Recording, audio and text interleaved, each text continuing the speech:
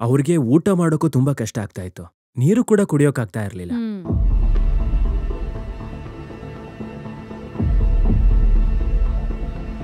ಎಲ್ಲ ಕಡೆನೂ ಫಂಗಸ್ ಬಂದಿದೆ. ಅದಕ್ಕೆ ಟ್ರೀಟ್ಮೆಂಟ್ ಮಾಡಿಸ್ಬೇಕು ಅಂತ.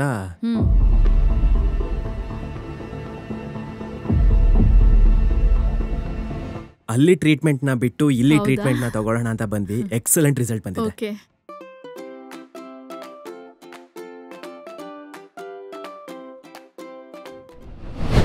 ವೆಲ್ಕಮ್ ಟು ನೇಚರ್ ಕ್ಯೂರ್ ಇಲ್ಲಿ ಪೇಷಂಟ್ ಅವರ ಬಂಧು ಇದ್ದಾರೆ. ನಲವತ್ತೈದು ದಿನ ಪುನರ್ಜನ್ ಆಯುರ್ವೇದ ಅಲ್ಲಿ ಮೆಡಿಸನ್ ಬಳಸಿದಾರಂತೆ. ಈ ನಲವತ್ತೈದು ದಿನದಲ್ಲಿ ಅವ್ರಿಗೆ ಯಾವ ರೀತಿ ರಿಕವರಿ ಇದೆ ಯಾವ ರೀತಿ ಲಕ್ಷಣಗಳಿಂದ ಮೊದಲ ಸತಿ ಇಲ್ಲಿಗೆ ಬಂದ್ರು ಯಾವ ಲಕ್ಷಣದಿಂದ ಇಲ್ಲಿಗೆ ಬಂದ್ರು ಈಗ ಆ ಲಕ್ಷಣಗಳು ಕಮ್ಮಿ ಆಯ್ತಾ ಇಲ್ವಾ? ನಲವತ್ತೈದು ದಿನದಲ್ಲೇ ಒಳ್ಳೆ ರಿಸಲ್ಟ್ ಸಿಕ್ಕಿದೆ ಅಂತ ಹೇಳ್ತಾ ಇದ್ದಾರೆ. ಈಗ ಸರ್ನ ಕೇಳಿ ತಿಳ್ಕೊಳ್ಳೋಣ.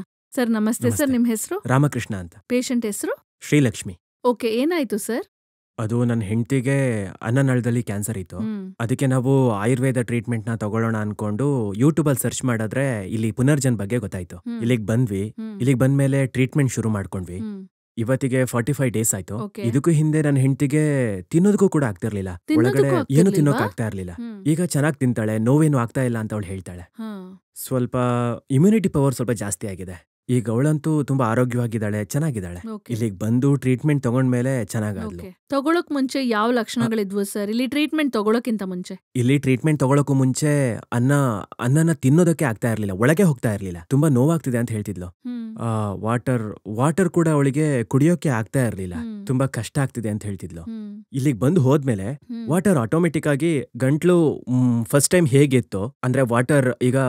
ಫ್ರೀ ಆಗಿ ಒಳಗಡೆ ಹೋಗ್ತಿದ್ಯಂತೆ. ಅದು ಇಲ್ಲಿಗೆ ಬಂದ್ಮೇಲೆ. ಯಾವ್ದಾದ್ರು ಫ್ರೀ ಆಗಿ ಅಂದ್ರೆ ಅನ್ನ ಕೂಡ ಫ್ರೀ ಆಗಿ ಒಳಗಡೆ ಹೋಗ್ತಿದ್ಯಂತೆ. ಓಕೆ. ಎಷ್ಟು ದಿನದಿಂದ ಈಸೋಫೇಗಸ್ ಕ್ಯಾನ್ಸರ್ ಇಂದ ಬಳಲ್ತಾ ಇದ್ದಾರೆ ಅವರು? ನಮಗ್ ಮೊದ್ಲು ನಮಗ್ ಮೊದ್ಲು ಇದ್ರ ಬಗ್ಗೆ ಗೊತ್ತಿರ್ಲಿಲ್ಲ. ಆಮೇಲೆ ಇಲ್ಲಿಗೆ ಬಂದ ಮೇಲೆ ಗೊತ್ತಾಯ್ತು ಗೊತ್ತಾದ್ಮೇಲೆ ಸಿಕ್ಸ್ ಮಂತ್ಸು ಟ್ರೀಟ್ಮೆಂಟ್ ತಗೊಂಡ್ವಿ.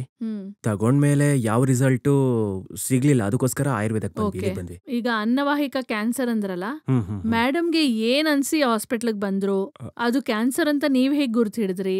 ಅಂದ್ರೆ ನಾವ್ ಇಲ್ಲಿಗೆ ಬಂದಾಗ ಅಂದ್ರೆ ಸೆಕೆಂಡ್ ಸ್ಟೇಜ್ ಅಲ್ಲಿ ಇದ್ದಾಗ ಅನ್ನ ತಿನ್ನೋಕ್ಕೂ ಕೂಡ ತುಂಬಾನೇ ಕಷ್ಟ ಆಗ್ತಾ ಇತ್ತು ನೋವಾಗ್ತಾ ಇತ್ತಂತೆ. ಅನ್ನ ತಿಂದ್ರು ಕಷ್ಟ ಆಗ್ತಾ ಇತ್ತು. ಹಾ ಹೌದು ನೋವಾಗ್ತಿತ್ತಂತೆ. ಸಡನ್ ಆಗಿ ನಾವು ಎಂಡೋಸ್ಕೋಪ್ ತೆಗ್ಸಿದ್ವಿ. ಎಂಡೋಸ್ಕೋಪ್ ತೆಗ್ಸಿದ್ಮೇಲೆ ಹೇಳಿದ್ರು ಇದು ಕ್ಯಾನ್ಸರ್ ಕ್ಯಾನ್ಸರ್ ಇದೆ ಅಂತ ಹೇಳಿದ್ರು. ಐಸೋಫೋಗ ಫಂಗಸ್ ಬಂದಿದೆ ಇದಕ್ಕೆ ಟ್ರೀಟ್ಮೆಂಟ್ ಮಾಡಿಸ್ಬೇಕು ಅಂತಾನು ಹೇಳಿದ್ರು. ಸರಿ ಅಂತ ಟ್ರೀಟ್ಮೆಂಟ್ ಶುರು ಮಾಡಿದ್ವಿ. ಅನ್ನ ತಿನ್ನಕ್ ಆಗದೆ ಇರೋದ್ರಿಂದ ಗಂಟಲಲ್ಲಿ ನೋವಾಗೋಕೆ ಶುರು ಆಗಿತ್ತು ಮತ್ತೆ ಏನಾದ್ರು ತಿನ್ಬೇಕು ಅಂತಂದ್ರು ತುಂಬಾನೇ ಕಷ್ಟ ಪಡ್ತಾ ಇದ್ಲು. ಓಕೆ. ಒಂದ್ಸಲ ಆಲೋಚನೆ ಮಾಡಿ ಇಲ್ಲಿಗೆ ಬಂದ್ಬಿಟ್ವಿ ನಾವು ಎಷ್ಟ್ ದಿನದಿಂದ ಶುರುವಾಯ್ತು? ಶುರುವಾಗಿ ಸಿಕ್ಸ್ ಮಂತ್ಸ್ ಆಯ್ತು ಮೇಡಮ್ ಅಲ್ಲಿ ಟ್ರೀಟ್ಮೆಂಟ್ ಇಲ್ಲಿಗೆ ಬಂದು ಫೋರ್ಟಿ ಫೈವ್ ಡೇಸ್ ಆಯ್ತು ಮೇಡಮ್. ಫೋರ್ಟಿ ಫೈವ್ ಡೇಸ್ ಅಲ್ಲಿ ನನ್ನ ಹೆಂಡತಿ ಕ್ಯೂರ್ ಆದ್ಲು ಈಗ ಚೆನ್ನಾಗಿ ಊಟ ಮಾಡ್ತಾಳೆ ಮತ್ತೆ ಆರಾಮಾಗಿ ತಿಂತಾಳೆ ನೀರ್ ಕುಡಿತಾಳೆ ಹುಷಾರಾಗಿದ್ದಾಳೆ ಈಗ.